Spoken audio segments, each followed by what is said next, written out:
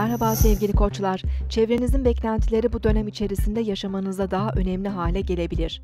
Yakın ilişkilerinizde başarılı olacağınız bir dönemdesiniz. Alacağınız yeni teklifler ve olumlu mesajlar geleceğe daha iyimser bakmanıza yol açabilir. Bugün 30 Nisan 2015 Perşembe, Jüpiter günündeyiz.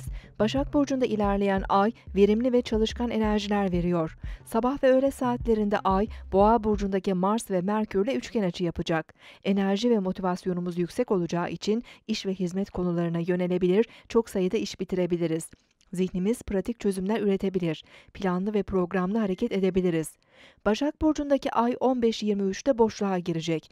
Bu nedenle önemli işlerle bu saate kadar ilgilenmek daha doğru olabilir. Ay 17.03'te terazi burcuna geçecek. Akşam saatlerinden itibaren ilişkiler, sosyal ve sanatsal kavramlar daha fazla ilgi alanımıza girmeye başlayabilir. İlk